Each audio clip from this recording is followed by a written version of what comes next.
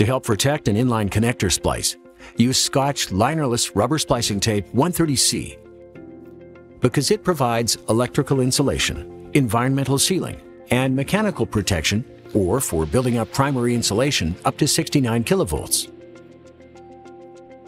Prepare cable as per standard practice.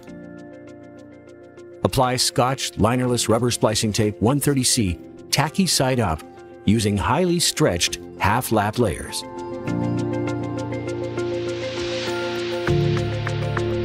Make sure you apply enough Scotch linerless rubber splicing tape 130C to build up the thickness to one to one and a half times the original insulation thickness.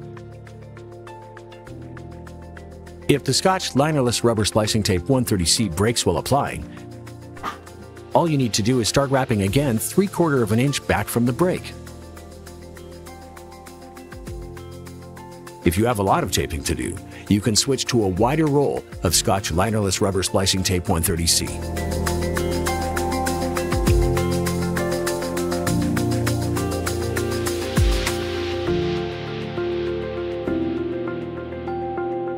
And that's how you apply Scotch linerless rubber splicing tape 130C.